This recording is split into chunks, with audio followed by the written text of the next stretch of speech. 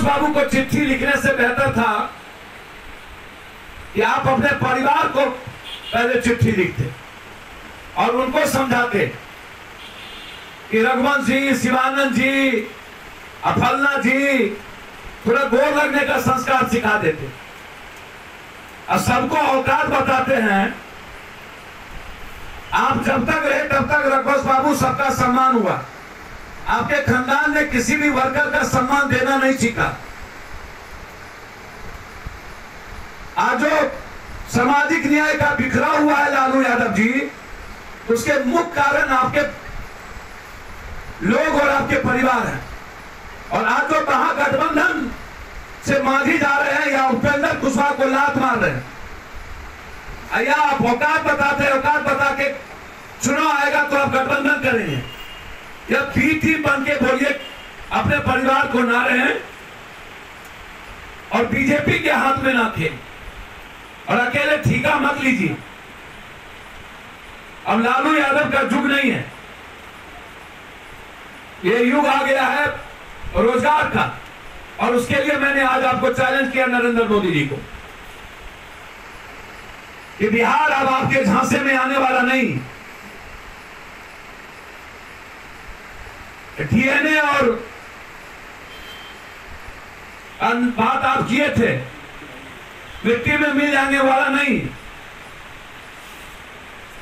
ये सीधा चुनौती है। बस इतना ही था मेरा आज। प्रधानमंत्री रघुवंश। राहुल जी ने भी हाल समाचार पूछा है। क्या झांसे में लेने की कोशिश कर रहे हैं? हमेशा नरेंद्र मोदी जी का नाम ही नीतीश जी का नाम झांसा है सर नीतीश कुमार जी ने कहा है कि दलित परिवार में मर्डर कराने के लिए उसकाते हैं बाहर है सरकार। बीजेपी के राष्ट्र हम कैसे भी नहीं देखते हैं सब आते जाते रहता है भैया। पहले अपना रोज़गार ठीक ठाक रखे ना भाई। स्वास्थ्य रोज़गार ठीक रखे कौन स्वरोजगार? ये अदानी अंबानी का स्वरोजगार की फोर्टी सेवन छप्पन वाले का स्वरोजगार? या बालू माफिया का स्वरोजगार? ये उनसे पूछिए किसका स्वरोजगार होगा? ये अपने अपने से आग्रह किया ना। लालू जी को तय करना है कि महागठबंधन बड़ा होना चाहिए। आप लात मारते रहिएगा तो आग्रह तो करेंगे, बचाइए। और आपके चिट्ठी तो रघुवंश बाबू से ज़्यादा अच्छा है खानदान को लिख के जिसके चलते अब लोग अपमान होता है। ये कौन बड़ी बात होगी? सबको डेमोक्रेसी में लड़ने का है, हमारी पार्टी जब आएगी तो मैं आपको बहुत क्लियर हूँ कि किसी भी परिस्थिति में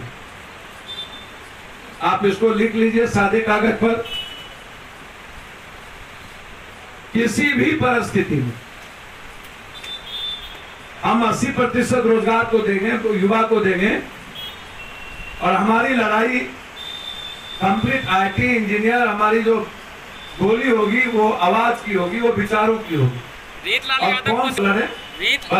यादव को देंगे या नहीं? सबको लड़ने का अधिकार है बधाई रोज़गार करके कौन कौन रोज़गार अपना ढूंढ रहे हैं? अब पूरा घर जला करके कौन कौन घर बचेगा तीस सालों में तो भगवान जाने। बधाई हो, बधाई बधाई। सब फोर्टी सेवन, छप्पन, सैतालीस। सब आलू माफिया। लोग दोनों आदमी को मुख्यमंत्री बनाए, बधाई हो।